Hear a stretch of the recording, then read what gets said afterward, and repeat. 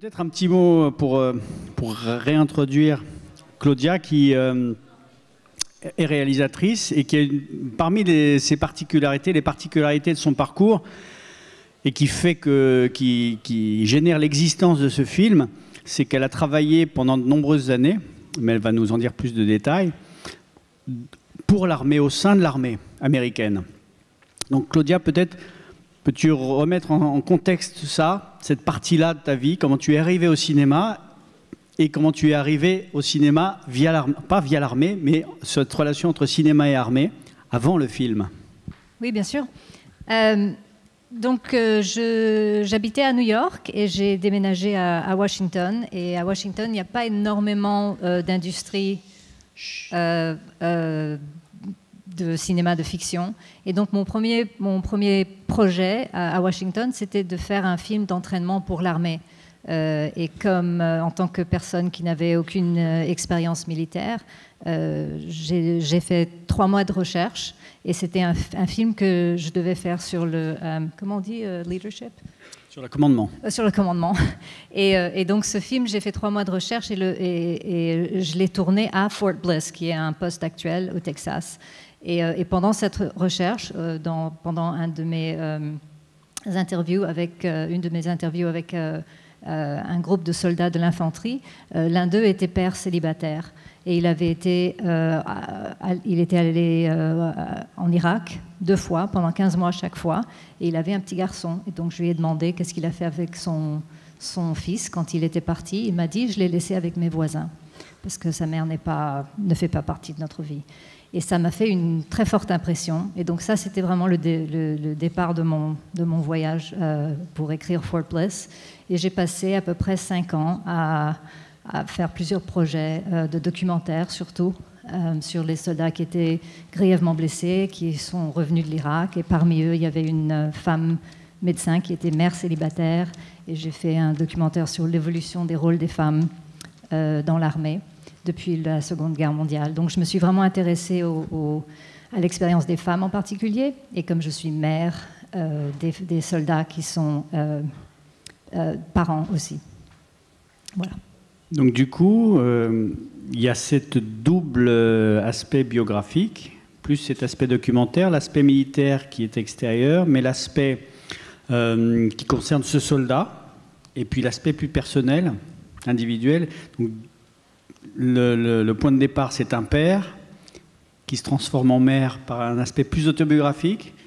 quelle est la part justement de, cette partie biographique à l'intérieur de, ce film? Je crois que pour moi, l'entrée personnelle dans, ce, dans, cet univers, c'était que euh, comme, comme une maman qui essaie d'avoir une carrière euh, professionnelle, euh, je me sentais euh, très tiraillée entre ce que je faisais à Fort Bliss, qui était important. J'ai dû quitter mon fils qui avait trois ans à l'époque, ou deux ans peut-être, euh, pendant plus d'un mois. Et j'ai trouvé ça très difficile. Et en même temps, cette histoire du père célibataire qui avait été en Irak deux fois pendant 15 mois m'est vraiment restée. Et j'ai commencé à réfléchir sur le fait que je pouvais m'identifier à, à, lui. Et, et d'un autre côté, euh, que je crois que beaucoup de femmes, et beaucoup de parents en général, mais, du point de vue des femmes, je trouve que euh, c'est. Euh, la société les juge peut-être différemment des hommes. C'est une question que je me posais quand j'ai écrit ce film. Est-ce qu'on la juge différemment parce que c'est une mère qui quitte son enfant en tant que soldat? Et donc, ça, c'était une façon d'explorer un peu l'état de ma vie et de, de réfléchir au fait que quand on qu'on fait des choix dans la vie et c'est pas toujours facile et il n'y a pas toujours de réponse évidente. Pour être un petit peu quand même biculturel entre l'Europe et, les États-Unis, est-ce que le film aurait été le même si ça avait été une militaire non américaine, si ça ne si pas passé à Fort Bliss, mais plutôt militaire, prenons pas l'Angleterre, mais française ou allemande ou belge? C'est difficile de répondre à la question parce que je, trouve que je, je, n'en sais pas assez sur, euh, sur l'expérience militaire française, euh, tandis que je me suis vraiment informée sur l'expérience des soldats américains. Donc, j'ai écrit d'une. Je, j'ai seulement senti que je pouvais faire ce film quand j'avais suffisamment d'informations et quand j'avais passé suffisamment de temps avec des soldats pour pouvoir au moins euh, pay tribute, je ne sais pas comment dire, à leur expérience. Euh, Rendre hommage. Rendre hommage témoigner. À, aux témoigner de leur expérience dans toute sa complexité. Et est-ce que, parce que finalement, cette question entre le, le tiraillement entre la vie professionnelle, qui est quand même un peu particulière là, et, la vie privée, et notamment la vie familiale, est-ce qu'on on pourrait finalement la décliner dans d'autres secteurs professionnels malgré tout? Qu'est-ce qui fait la spécificité du secteur militaire? C'est la violence.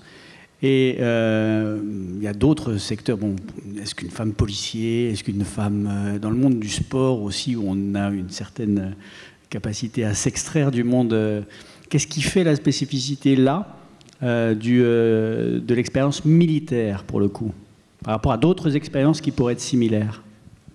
Ben, je, trouve qu'en fait, c'est similaire à beaucoup d'autres expériences. N'importe quelle mère qui essaie de, faire une carrière dans un monde euh, compétitif, difficile, euh, euh, qui, a, qui, prend un taux émotionnel, je pense qu'on peut se référer à cette expérience. C'est juste que dans le militaire, c'est très extrême. C'est, on, on, part pas pendant un voyage d'affaires de deux jours, c'est comme dit le mari dans le film, c'est, c'est 9, 12, 15 mois. Euh, il y a la violence, bien sûr, il y a la possibilité que la mère ne, revient pas, ne revienne pas. Euh, donc c'est vraiment un, cas extrême d'une mère qui travaille. C'est, euh, en fait, c'est ça qui m'intéressait, c'est que c'est un exemple extrême. Est-ce que, avant de continuer, peut-être passer un petit temps de parole à la salle Qu'est-ce qu'il y a comme, Est-ce qu'il y a des questions, remarques? On voit mal, je vois ici madame.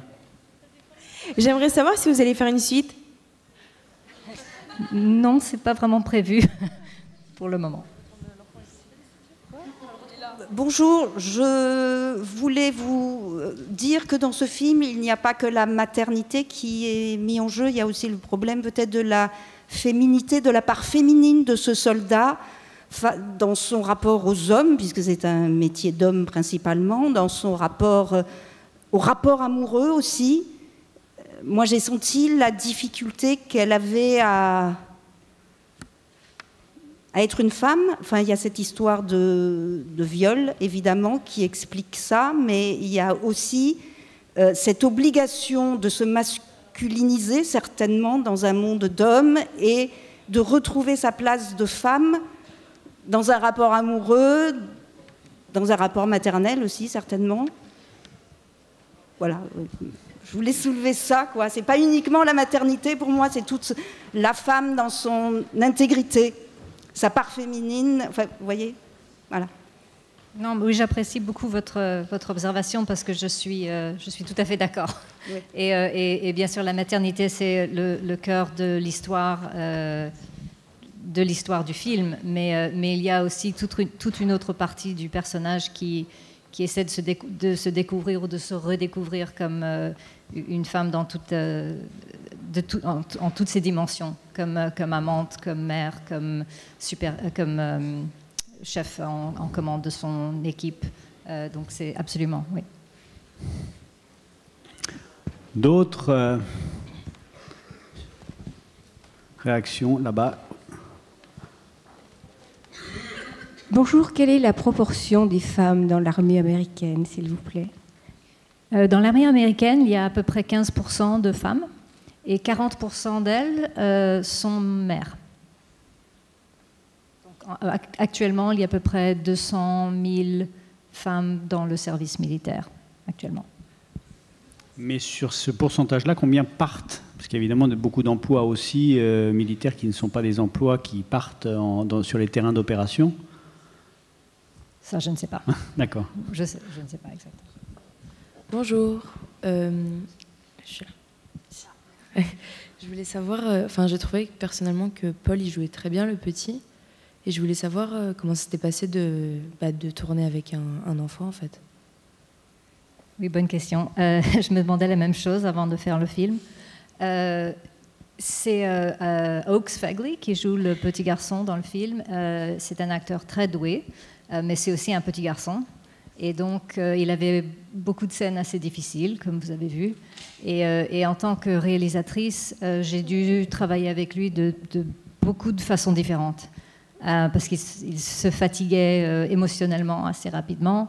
Et euh, des fois, on disait qu'on tournait pas vraiment et on faisait une répétition et en fait, on filmait la répétition parce qu'il était souvent un peu plus euh, spontané quand il croyait qu'on filmait pas et quand, quand on commençait à filmer, il, devenait un peu, enfin, on, voyait plutôt le côté acteur. Donc on, on, a triché un petit peu de temps en temps. et des fois, il était extrêmement mature. une de mes scènes favorites avec lui, c'est quand il dit à sa mère uh, Promise You Won't Die, promet de ne pas mourir. Euh, et on a fait cette scène plusieurs fois. Il faisait très très chaud dans l'appartement. On était fatigués, personne n'avait assez dormi et, euh, et, la scène ne marchait pas vraiment. Et, euh, et j'avais l'impression qu'il disait un texte de scénario et que c'était un peu cheesy, un peu, un peu sucré. Ouais, j'y croyais pas. Et donc je me disais, bon, je vais couper cette scène, c'est sûr mais je vais essayer un truc encore. Et donc, euh, je lui ai demandé pourquoi tu dis ça? Pourquoi tu, pourquoi tu lui poses la question? Et il a réfléchi et il m'a dit peut-être. Il m'a dit parce que c'est parce que c'est écrit. J'ai dit oui, mais c'est pas une bonne raison. Et, euh, et il m'a dit ben peut-être parce que je lui ai dit est-ce que tu peux penser à une raison qui que tu voudrais poser cette question à ta mère à ce moment-là? Et il m'a dit mais peut-être quand je prends sa casquette, ça me, ça me fait penser à quelqu'un qui portait une casquette exactement comme ça et qui est morte. Et j'ai dit, c'est super, on, fait ça. Et c'est cette euh, prise qu'on a utilisée, et c'est vraiment très, il est très euh, euh, lié à ce qu'il dit à ce moment-là. Donc c'était vraiment un acteur qui, qui arrivait à, travailler d'une façon très adulte par moment, et par autre moment, il fallait, qu'on, fallait en faire un jeu.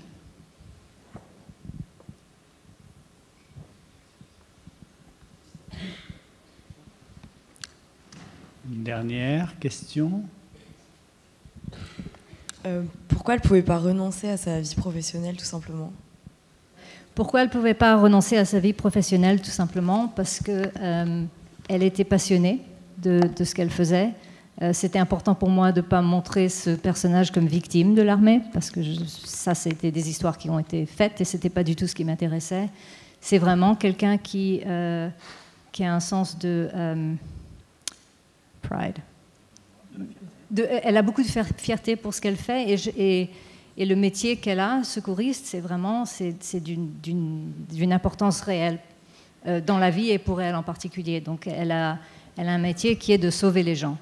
Et, euh, et, donc c'est pas quelque chose. Elle, elle, a un sens du devoir qui est euh, balancé entre son, son, sens du devoir pour son propre fils, mais aussi son sens du devoir pour les hommes et les femmes qui travaillent pour elle et, dont elle a l'obligation de, sauver la vie s'ils sont en danger. Ça Là, oui. Juste là.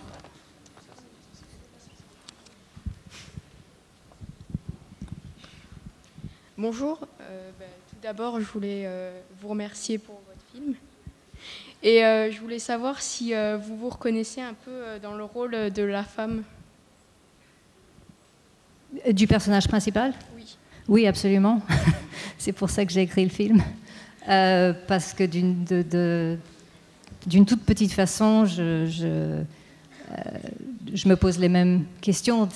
Les, enchères, les, les stakes, les, enjeux, pardon, euh, les enjeux ne sont pas aussi dramatiques, bien sûr, mais je crois que euh, euh, quand on est parent et qu'on aime, ce qu'on fait avec de la passion, mais que cette passion nous détourne d'être présent comme parents à tout moment et qu'on rate des choses importantes, on se pose des questions. Et je pense que c'est vrai aussi pour les pères. et donc c'est ça que je voulais un peu explorer, que j'avais des, sentiments un peu compliqués à cet égard. Et je me demandais aussi, est-ce que je me jugeais plus euh, durement parce que je suis une mère plutôt que si j'étais un père. Euh, et, en fait, le film est vraiment. Euh, je, l'ai fait pour deux raisons. Une, parce que je voulais montrer un côté de la guerre que je trouve n'est pas exploré au cinéma. On ne voit pas beaucoup de, soldats parents et surtout pas de mères soldats. Et aussi, d'un autre côté, poser des questions sur, sur ces, ces deux côtés de notre vie qu'on essaie de réconcilier. Ici, de ce côté-là. Micro. De ce côté-ci. Euh, au début du film, on a vu, euh, on a vu un militaire qui s'était pris un, truc dans le ventre Et on, je sais pas s'il est mort ou pas. Pardon, c'était la question, c'est est-ce qu'il a survécu? Oui. Ah, oui, en fait, la traduction, bonne question. La traduction est mauvaise parce que le, le capitaine qui vient lui dire, euh, je crois que dans la traduction, c'est marqué il va survivre et c'est grâce à vous. Et en fait, c'est pas ce qui est écrit dans le scénario, c'est s'il survit, c'est grâce à vous.